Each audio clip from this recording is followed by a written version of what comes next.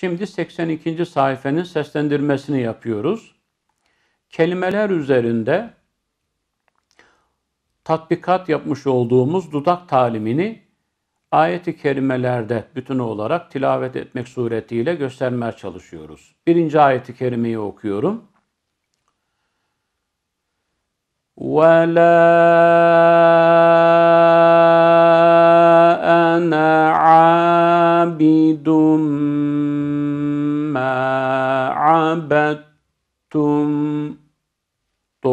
Uygulama bu. Abidumme dudakları geri topladım. Abettu derken ileriye sürdüm. Tum derken yine dudakları ileride bıraktım. Ve la entum abiduna ma a'bud. Burada da entum derken dudağı ileride bıraktım. E'bud derken yine dudakları ileride bıraktım. Çünkü her ikisinde de sakin harflerimiz sakin. Sonrasında idam edilecek bir harf yok. İdam durumu söz konusu değil. Ma kablinin bir önceki harfin harekesine göre dudağa şekil verdim. Dudakları ileride bıraktım. Lekum dinukum veliyedin. Doğru okuma bu.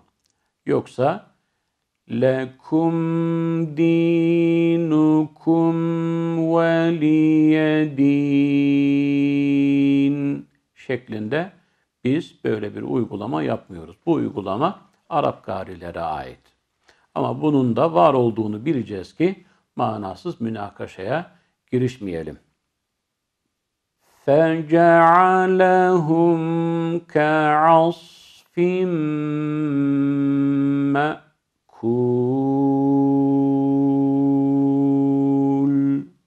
Doğrusu bu. Yoksa فَجَعَلَهُمْ كَعَصْفٍ مَأْكُولٍ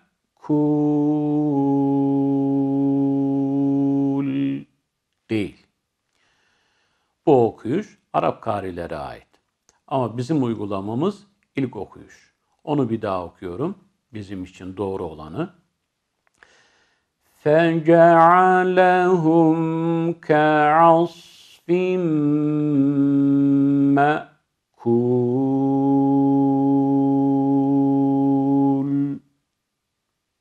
وَيْلٌ لِكُلِّ هُمَزَةٍ لُمَزَةٍ Doğru uygulama bu.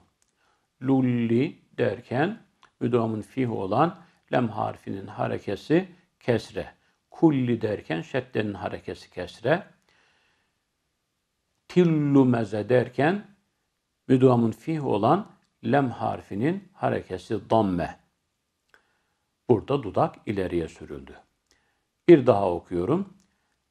وَيْلٌ لِكُلِّ هُمَزَةٍ لُمَزَةٍ الَّذ۪ي جَمَعَ مَالًا وَعَدَّدَهُ Malen ve derken her halükarda dudak ileride olması gerekiyor. Çünkü buradaki harfimiz vav harfi.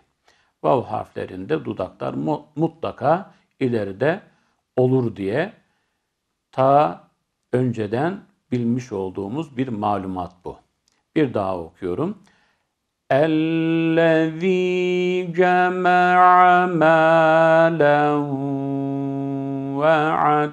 وَعَدَّدَهُ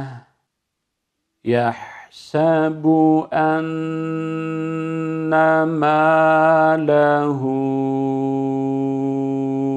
أَخْلَدَهُ Bu ayeti kerimede kendileri dammeli olan harflerimiz var.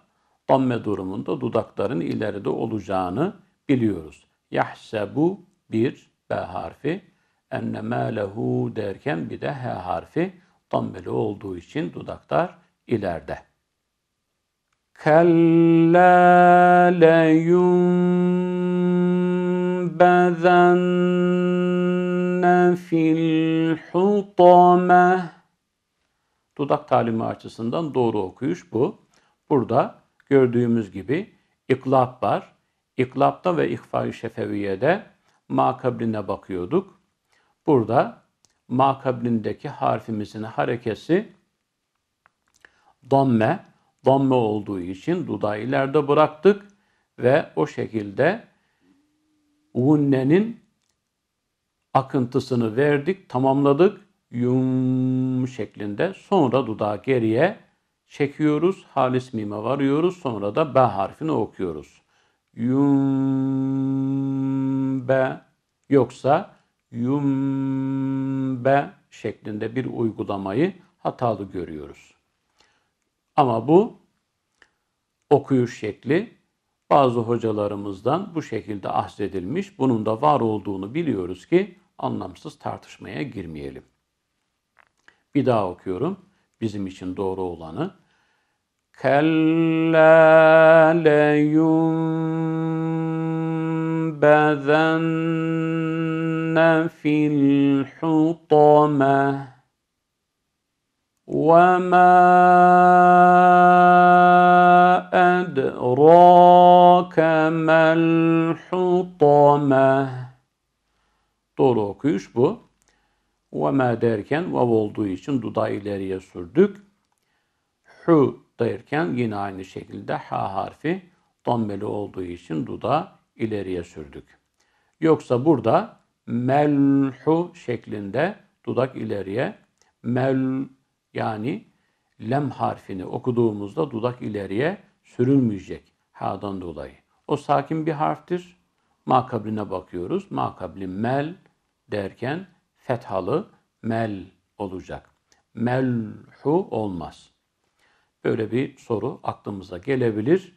Muhtemel bir takıntıdır.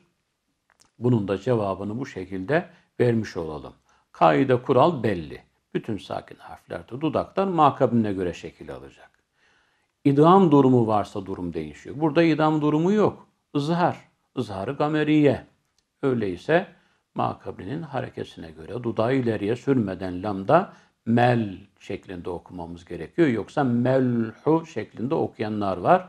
Bunlar da hatalı okuyorlar dudak talimi açısından. Doğrusunu bir daha okuyorum. وَمَا أَدْرَاكَ مَا الْحُطَمَةُ نَارُ اللَّهِ الْمُوقَدَةُ الَّتِي تَطَّلِعُ عَلَى الْأَفْئِدَةِ Dudak talimi açısından doğru uygulama bu. Narullahi derken şeddeli lem harfimiz var. Şeddenin harekesi fetha. Dudakları onun için geriye topladık. Narullahi, rullahi. Sonra narullahil mu, hilmu, hilmu, hilmu şeklinde bir okuma hatalıdır. Neden? Çünkü burada lem harfi sakin makabilindeki kesreli mim harfine göre şekil vereceğiz. Evet, narul kesreli H harfine göre şekil vereceğiz. Hil, narullahil, hil. Yoksa mabadindeki mimin dammesine göre şekil vermek hatalı. Çünkü idam değil. Hilmu diyemeyiz. Hilmu, hilmu şeklinde şekil vermek uygun olanı. Narullahil muqadetu dudak ileride damme olduğu için sonra sonraki ayeti kerimeye bağladığımızda şeddeli bir lam var. Tulle, tulle ve şeddenin harekesi de gördüğünüz gibi fetha. Fethalı olduğu için dudakları geriye topluyorum yoksa tulle değil. Tulle değil.